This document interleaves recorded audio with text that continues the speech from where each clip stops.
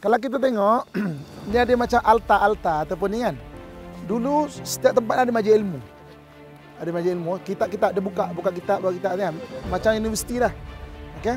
Kalau kita lihat, uh, perasan tak kalau setengah kat Malaysia, uh, kat Johor ke apa dia panggil masjid jami'. Masjid jami' kan. Jami' kalau istilah uh, Johor, masjid jami' tu masjid yang buat solat Jumaat. Jami' kan, kumpul.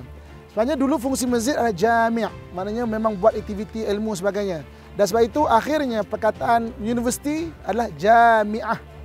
Aja, universiti tertua di dunia, Jami' Al-Azhar, Qarawiyin kan dan juga uh, Umawi kan. Uh, Okey, saya nak kongsikan satu uh, pengalaman saya dengan satu orang jemaah. Eh.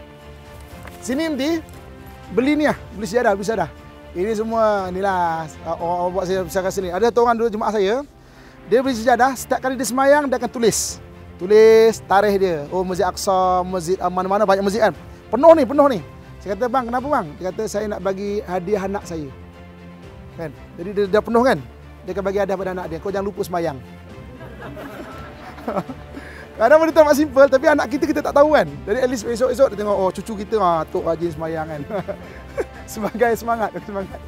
Macam juga kita khatam Quran, kata khatam Quran bulan Ramadan, tuliskan betul cantik uh, bagi pada hadiah ada anak ni mak khatam kan. Bagi, semangat kan dia untuk khatam Quran.